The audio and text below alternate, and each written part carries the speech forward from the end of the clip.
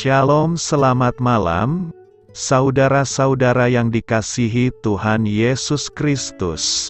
Selamat berjumpa dalam renungan pada malam hari ini, doa dan harapan saya.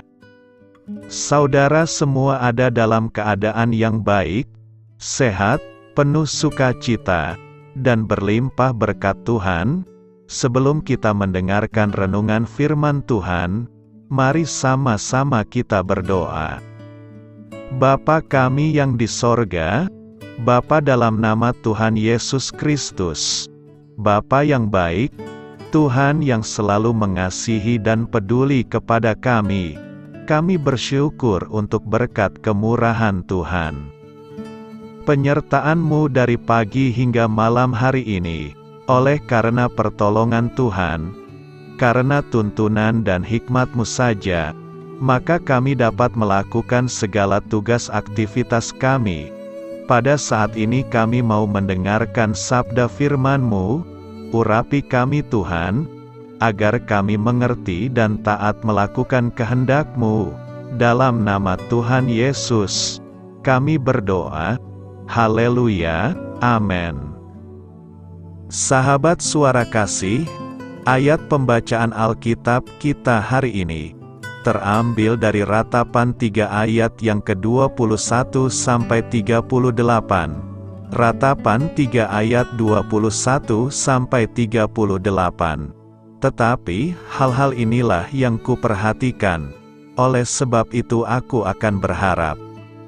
Tak berkesudahan kasih setia Tuhan, tak habis-habisnya rahmatnya, selalu baru tiap pagi, besar kesetiaanmu, Tuhan adalah bagianku, kata jiwaku, oleh sebab itu aku berharap kepadanya. Tuhan adalah baik bagi orang yang berharap kepadanya, bagi jiwa yang mencari dia, adalah baik menanti dengan diam pertolongan Tuhan, adalah baik bagi seorang pria memikul kuk pada masa mudanya.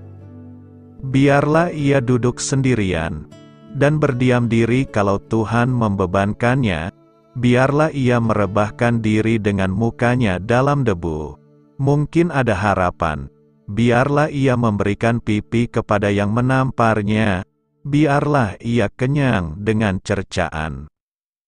Karena tidak untuk selama-lamanya Tuhan mengucilkan, karena walau ia mendatangkan susah, ia juga menyayangi menurut kebesaran kasih setianya, karena tidak dengan rela hati, ia menindas dan merisaukan anak-anak manusia. Kalau dipijak-pijak dengan kaki tawanan-tawanan di dunia, kalau hak orang dibelokkan di hadapan yang maha tinggi, atau orang diperlakukan tidak adil dalam perkaranya, masakan Tuhan tidak melihatnya? Siapa berfirman, maka semuanya jadi. Bukankah Tuhan yang memerintahkannya?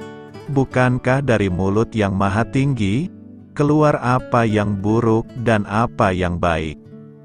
Sahabat suara kasih, ayat emas renungan kita hari ini adalah Ratapan 3 ayat 22 sampai 24, tak berkesudahan kasih setia Tuhan, tak habis-habisnya rahmatnya.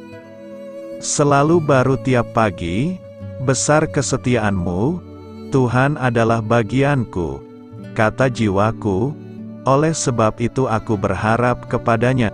Judul renungan kita hari ini adalah Kebaikan Tuhan ada bagi kota, ditulis oleh Hermanto Nugroho. Sahabat suara kasih, Kasih setia Tuhan terjamin bagi umatnya akan terus ada, bahkan bukan hanya selalu ada, tetapi juga baru setiap pagi. Ini adalah berita yang sangat menyegarkan jiwa.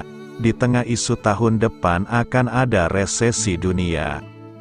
Sebagai orang yang percaya pada kasih setia Tuhan yang tidak akan berubah, sesuai dengan ayat di ratapan ini, Berita tentang dunia yang akan dilanda perlambatan ekonomi tidak akan mengganggu damai sejahtera.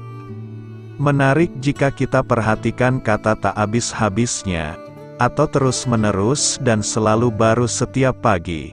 Kata tak habis-habisnya atau terus-menerus, dan selalu baru setiap pagi, adalah dua hal yang berbeda.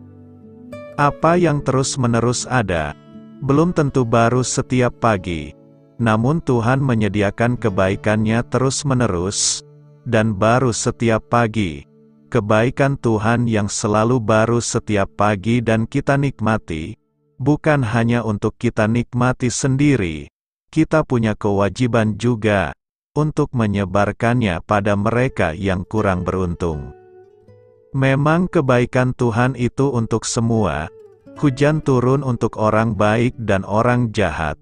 Namun tentunya ketika kita bisa menikmati kebaikannya, hendaknya kita pun menjadi alat untuk menyalurkan berkatnya.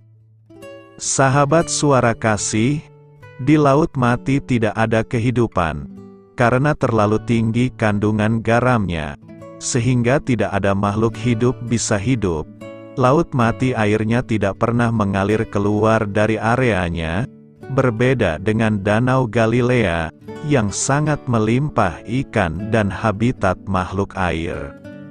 Marilah kita renungkan, kebaikan Tuhan yang selalu mengalir dalam kehidupan kita.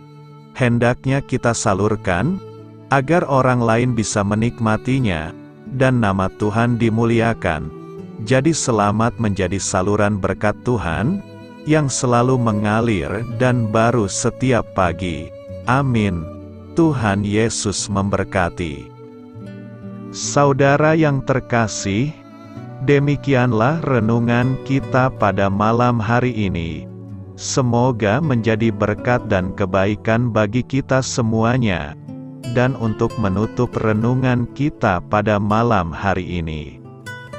Marilah kita berdoa, Bapa kami yang di sorga, Bapa di dalam nama Tuhan Yesus Kristus. Kami bersyukur Bapa, karena Engkau memberikan begitu banyak berkat di dalam hidup kami. Ajarlah kami Bapa, untuk selalu mengucap syukur kepadamu setiap hari. Terima kasih juga Bapa, untuk pertolongan, penyertaan, dan juga atas berkat-Mu. Kami berbahagia dan bersyukur Bapa, atas kebaikan Tuhan di dalam hidup kami. Terima kasih untuk penyertaan-Mu Bapa, di sepanjang hari yang telah kami lewati. Hingga pada malam hari ini, kami boleh bersyukur lagi di hadapan-Mu Bapa, Melalui doa dan renungan malam hari ini, terima kasih untuk firman-Mu pada hari ini Tuhan. Kami mau belajar dan terus belajar tentang firman-Mu. Firman-Mu yang menguatkan dan meneguhkan iman percaya kami. Firman-Mu yang mengubahkan kehidupan kami. Kami mau melakukan firman-Mu Bapa, di sepanjang kehidupan kami, agar kami menjadi kuat, berjalan bersama dengan Engkau. Terima kasih Bapa, untuk nafas kehidupan yang masih Engkau berikan. Kami mau pakai kehidupan kami, untuk hormat dan kemuliaan namamu. Kiranya Engkau selalu memberkati hidup kami, keluarga kami, sanak saudara kami, daerah tempat tinggal kami, bangsa dan negara kami, pemerintah-pemerintah kami. Biarlah semuanya dalam perlindunganmu Bapa, dan jadilah sesuai kehendakmu yang terbaik, di dalam hidup kami. Bapa, hamba berdoa untuk saudara-saudara kami, yang sudah mendengarkan renungan pada malam hari ini. Biarlah yang saat ini sedang mengalami sakit penyakit, pergumulan masalah, kebutuhan ekonomi, kiranya engkau jamah, sembuhkan dan pulihkan kehidupan mereka. Berkati perekonomian mereka, serta berikan jalan keluar, di setiap masalah kehidupan yang sedang mereka hadapi. Ajarlah kami juga Bapa, untuk selalu berharap dan percaya kepada Tuhan Yesus. Pada malam hari ini Bapa, kami akan beristirahat dalam tidur kami. Kiranya Engkau sertai dan lindungi kami di sepanjang malam ini, sehingga kami boleh bangun besok pagi dengan tubuh yang sehat, kuat, serta diberkati Tuhan. Terima kasih Bapa. Inilah yang menjadi doa dan permohonan kami. Dalam nama Tuhan Yesus, kami berdoa. Amin.